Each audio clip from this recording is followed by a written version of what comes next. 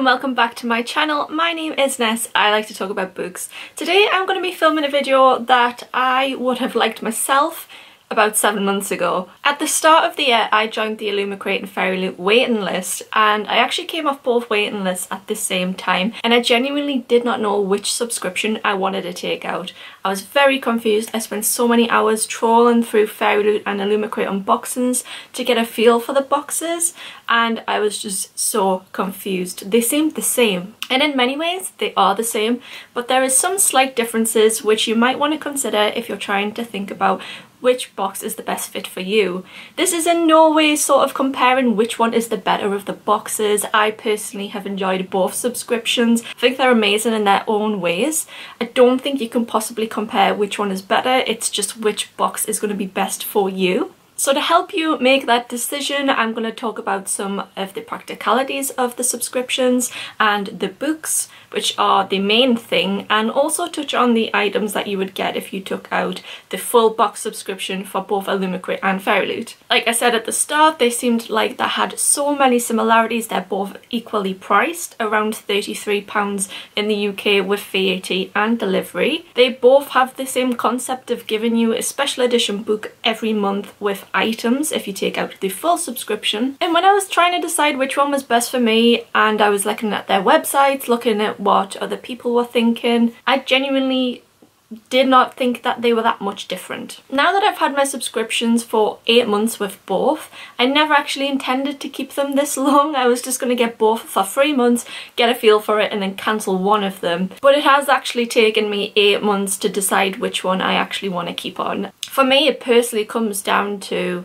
the book choices and I think for a lot of people, that's what the choice is going to come down to. And with Fairyloot and Illumicrate, that's where the biggest difference lies in the books that they actually give you every month. So in this video, I'm going to be looking at a very specific time frame, and that is March to September 2021. I'm not going to talk about their October boxes just in case anyone hasn't actually received theirs yet, because I will be showing you the books and the editions that they've given us in their months. So in March to September, these are the books that I have received. As you can see with Fairy Loot, there definitely seems to be a very colourful, very purple theme running through their books. Illumicrate tends to come off a lot darker, and it's only sort of when you look at them in this sense that you get a feel for the books that they're actually giving you in each subscription. Fairyloot is a young adult fantasy subscription and that is what they've always been, whereas Illumicrate is a little bit more mixed and they basically say we include books of all genres generally aimed towards a young adult or a crossover readership. And when they say all genres, I mean in this seven month period We've all been given fantasy. All of these books are fantasy, but we actually have five adult books and two young adult. Some of them people say are crossovers, but the biggest difference in this book stack is that one is purely young adult fantasy and the other one has a bit more of a mix for rangers. And I'm sure just looking at these comparisons already, you're probably thinking, I know which subscription is best for me. If you are an adult reader, you're probably looking at this thinking Illumicrate is going to be better for me, or if you're purely a young adult reader, Fairyloot would probably be the more suitable option for you. Like I have already said, they are the same priced. However, this is where the alternative subscription options come into play because Illumicrate throughout this entire period has done a book only subscription option which is a lot cheaper. I think that works out with like £18 plus VAT plus postage so you're probably saving about £10 on the item boxes and you get the book and you get the pin. So if you're someone that doesn't want the items at all, during that time Illumicrate would have probably been the most appropriate subscription for you. However, this is due to change because Fairyloot is going to be bringing out a young adult and a adult book only subscription. So now you're thinking, maybe Illumicrate isn't the only option for me because Fairyloot is bringing out a book only adult subscription box. I haven't found the answer yet to whether they are not going to include the same books as what Illumicrate do.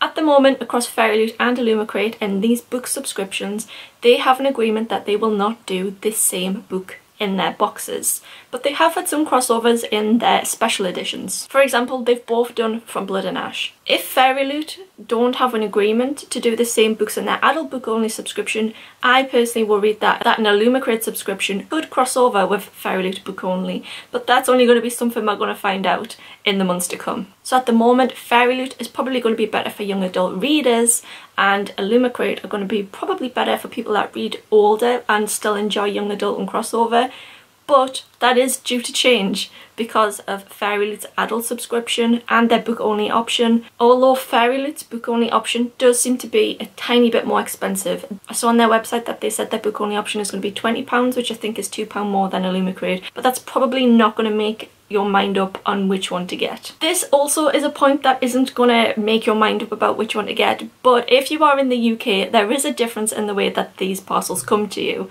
So Illumicrate ship their boxes via Royal Mail. FairyLoot use Hermes. I personally prefer Royal Mail delivering my stuff over Hermes.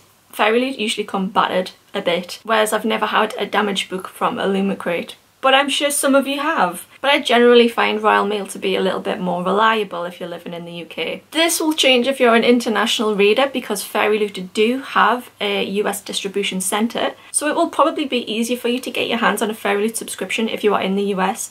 However, Illumicrate do hope to open next year a US fulfillment centre. So again, the long-term decision about which waiting list to join if you are living in the US is probably going to change next year. For me, the thing that's probably going to make your mind up, like I've said, is the book selection. And in this seven month period, looking at the stacks side by side, I think that would have made my mind up had I been able to see that before I took out both subscriptions. Before going into my subscriptions, I felt like I had the idea that FairyLoot did better customization of their monthly books and that Illumicrate didn't really put as much effort in or as much customization in. However, in the last half of this seven month period, I feel like Illumicrate have really stepped it up in their customizations. So now I'm going to talk a little bit more about book customization in depth. With all of these FairyLoot and Illumicrate books, they do come signed, but some of them are a digital signature but I think that's purely being caused by the pandemic and not being able to get the books to the author for them to sign and then send back in time.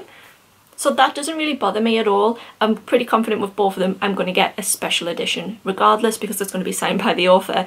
But what FairyLoot and Illumicrate agree with the publisher to do with customization, I guess that's a different story. I'm not going to run through these in the order of the month that I received them in because I can't remember in what order that they came but what I will sort of do is like a little score system and looking at what I thought of the customization for that month and then generally compare who I think done the better customization. So for Fairy Loot, Witches Steeped in Gold, this came with a fully redesigned cover which I thought was amazing. With Fairy Loot, you can always guarantee that there's going to be something illustrated under the dust jacket and that there's probably going to be something on the hardcover as well. Feels a little bit cartoony at times but I think that's just personal preference and these books are young adult. So the Witches Steeped in Gold edition, definitely different to whatever you could buy in the shop. I give this one a thumbs up. Their edition of Defy the Night did disappoint me a little bit. It had sprayed edges and you can pretty much guarantee that you're going to get a sprayed edge book. All of these are actually sprayed and stenciled edges.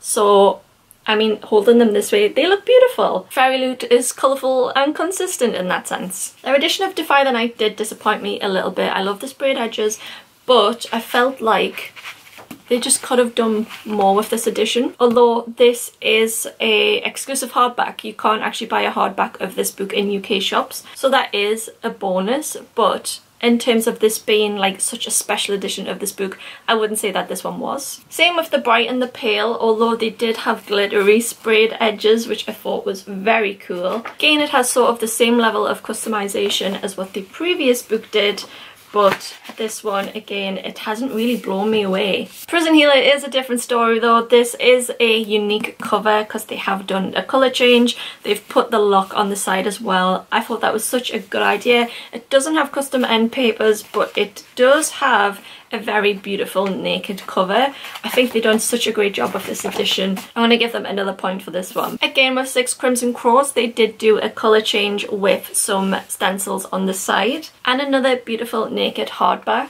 To me this feels like really autumny where the usual design in the UK felt very summery. Again I'm going to give them another point for this one on customization. Following the last two books, this one is a more recent edition. I think this is their September book and considering Six Crimson Cranes and The Prison Healer, I was expecting a lot of Fairy Loot at this point. So when they came out with these hollow stars, I was a little bit disappointed. The green of the leaves has been changed to orange and they've got some stencils on the side. But I just felt, I don't know, underwhelmed by this book. It has sort of a similar customization level, but I would have bought the UK hardback over this one they don't get a point from me for this one because I just felt like there could have been more. Fire with Fire was a book that I was actually really annoyed by because they said that this was an exclusive cover. There is nothing exclusive about this. It is looks exactly the same as the UK hardback but with this one you do get sort of like a nice design underneath. Could have done more with this book in my opinion. They're not getting a point from me from that. So out of those seven special editions I was really really impressed with three of them. So now running through Illumicrate and what they've been doing in terms of customization we start with The Devil Makes 3. This is a total redesign and I actually love this so much more than the UK edition and I also love that the inside like matches this as well. And it also has a lovely naked hardback as well. This is one of my favourite editions that Illumicrate has done in this time period. Definitely gets a point from me for this. Next up we have The Wolf and the Woodsman. This came from their Out of the Woods box which was one of my favourite because I thought the theme was done so well.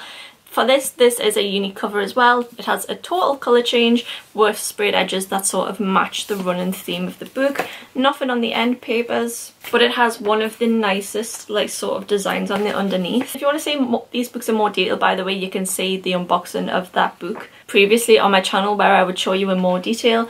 I really love this edition. It was a shame about the lack of end papers, but this just has such a different feel to the UK mass market hardback.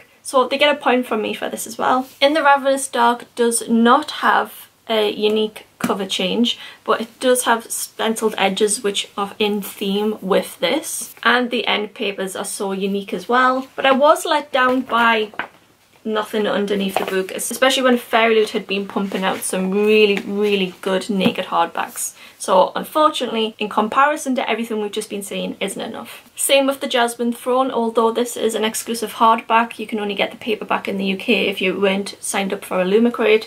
They have really nice stenciled edges, which is in theme with the book, but again, there's just not enough to, in this book for me. Doesn't have custom end papers and nothing underneath, but something on the hardback. And compared to Fairyloot's really customized editions, just not that impressed. Illumicrate's edition of She Who Became the Sun is my favourite book of any of the customisations across Fairyloot and Illumicrate. I absolutely loved what they've done with this book. This is a unique cover, so it has had a colour change, but also the cover sort of like continues into the sprayed edges, but also then into the end papers and I just thought this was so cleverly done as a book this to me is an actual work of art and then on the underneath as well, you did have a beautiful naked hardback and some more art on the reverse of the dust jacket. When I received this book, after having received the Jasmine Throne and the Unbroken, I felt like Illumicrate had turned a corner for me. I wasn't impressed with their boxes until I got this one and saw what they could come out with and was like, oh my god, I hope that they stay to this level.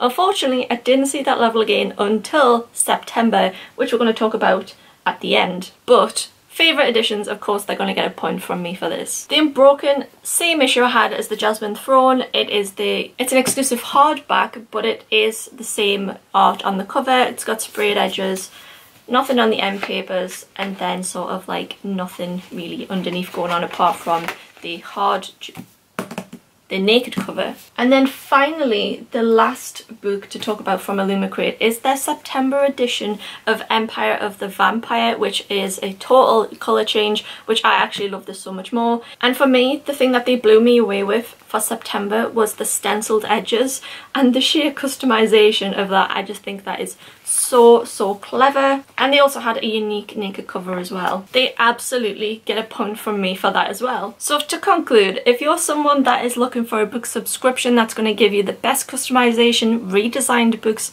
Actually, I gave Illumicrate 4 points and Fairyloot 3 points, which has totally changed my previous perspective going into my subscriptions that Fairyloot just spent more time on their books and, and giving you really exclusive redesigned books. Whether that helps you pick a subscription option, I don't know, but the reason that I did hesitate taking an Illumicrate subscription out was because I thought the books were just basic in their customization and Fairyloot's books were better better designed, so different to what you'd find in the shops. Actually, the past seven months has challenged that view for me. Of course they're both going to have months where they just don't put as much effort in because maybe they are restricted on time, they're restricted by the what the publisher can do, they're restricted by artists. And I certainly wouldn't let that override your initial viewing of looking at these stack of books, which ones would you have bought? And which ones would you have been happy receiving? For me personally, I feel like my Illumicrate subscription has been more, more worthwhile for me because I have more books there that I would have actually bought. But if talking about their book selection and the subscription options still hasn't helped you to make your mind up about which subscription you want to take out, I want to talk a little bit about the items that have come in the boxes because I think the items in some ways look very similar but there is slight differences in them. As standard in Illumicrate you know that you're going to get the monthly pin which is based on the book that's in the box. That is a regular item that will always come in their monthly boxes. With FairyLoot their regular item is tarot cards which are sort of these things here which have beautiful artwork on. They are stunning but whether you think that you'll get a use out of these or not is up to you. Personally if I had to decide between the pin or the tarot cards I would be drawn more towards towards the pin but you do get the pin in the book only subscription. I don't know if FairyLoot would include the tarot cards and their book only subscription that's going to be coming out next year. Both boxes give you this a similar amount of items four or five items based on book fandoms except in this time period Illumicrate have done a fandom neutral box, which was their August box based on the theme of dark academia. And I really enjoyed that. They give you some really useful, nice items like a book journal. And I really felt like that box was well put together. FairyLoot hasn't done a fandom neutral box in that time period. I don't know if they've ever done one. Generally, you're gonna expect the same things. We've had tea tins from both of them book sleeves. I got this from FairyLoot which I use all the time although Illumicrate in that time have done a glass one of these but not like with a straw. I use them both all the time so I actually don't know where that one is but that one is made of glass and it has a wooden top. It's very lovely. There is two items which might make you a bit more drawn to Illumicrate over FairyLoot and that is some of their regular items including the book pots and their mugs. So in that time period I've had two book pots from Illumicrate. This is one of them the other one is from the Dark Academia box, which is in another room. But this is one that I got early on and it's an Egyptian mythology inspired book pot. And people collect these. I think they've had about seven out now and there's no sign that these are actually going to end. I love them. I think that they look great on people's shelves. I use this one to keep my bookmarks in and I use the other one as a plant pot for a cactus. But that's not to say that FairyLoot have never done anything like this because they have. Because they did have a ceramic plant pot inspired by Crescent City although this isn't part of a series so there's no guarantee that you'd get anything like this again. And their other semi-regular item is the Illumicrate mugs by Rosie Thorns. These come out about every three months as well. There's one due in the December box and I've had three in the seven months. Because they are all done by the same artist, they're very cohesive in style and they're well made. Again, there's no plans for when these are going to end, but they do seem like a very regular series for Illumicrate.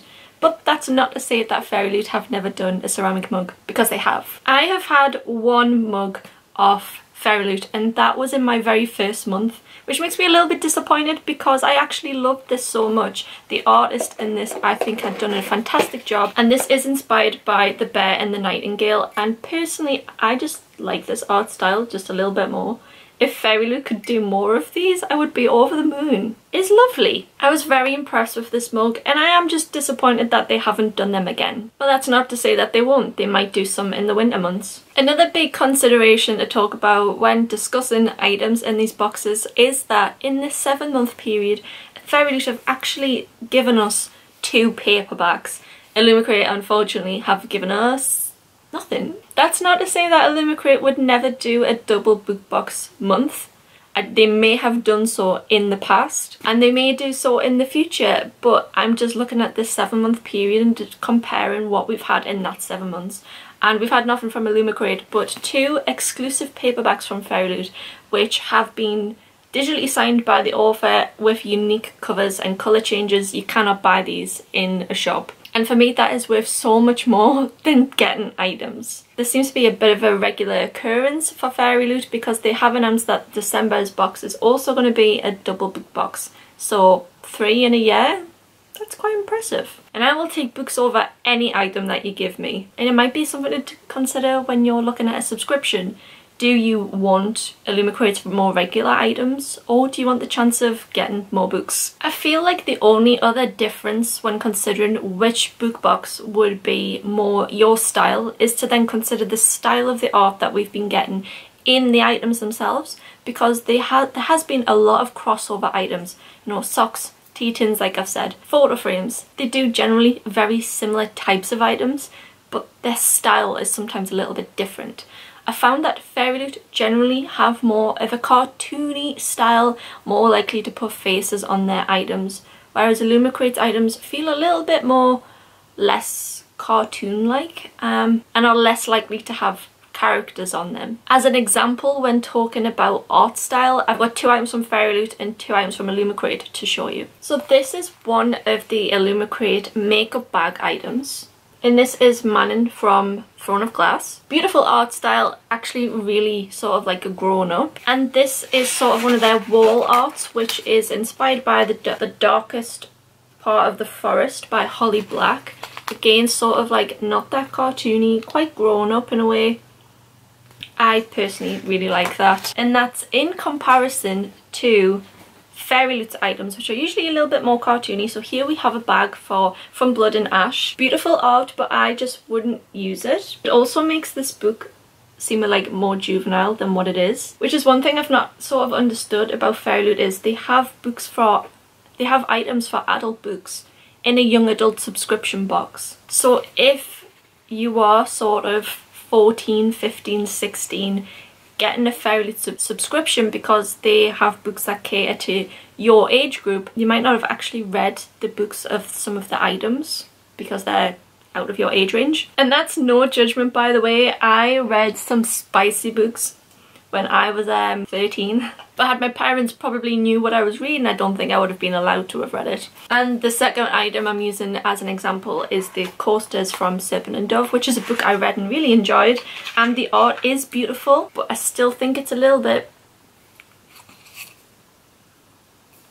catered towards younger people. But again, no judgment in that. Whether you would prefer a more adult or a more teenage art style, that is completely up to you. I'm just thinking about ways that you might find yourself in one of these boxes. The art is always amazing in both boxes. I never have complaints about the art.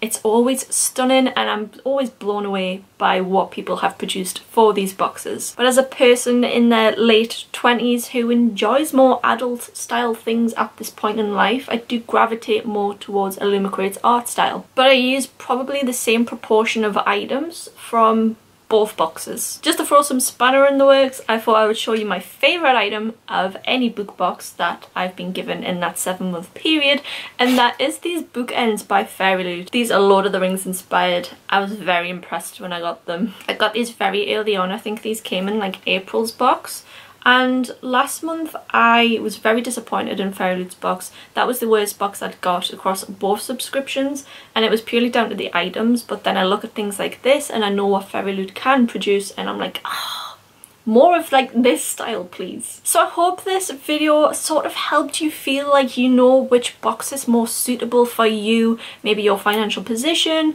which books you want more which items you gravitate more towards. They're so very, very similar but have slight little differences and hopefully this video has helped you understand those slight differences so that you know which box you want to take out if you only want to take out one subscription. There'll be so many factors which contribute to which one you feel is best for you, whether that is the books that are provided, the customization of the books that's provided, the items that you are given and the subscription type. So hope that helps. If you haven't yet subscribed to my channel, I hope that you would consider subscribing to me so you can watch more of my content in the future and I hope everyone's having a fantastic day. Thank you for watching. Bye guys.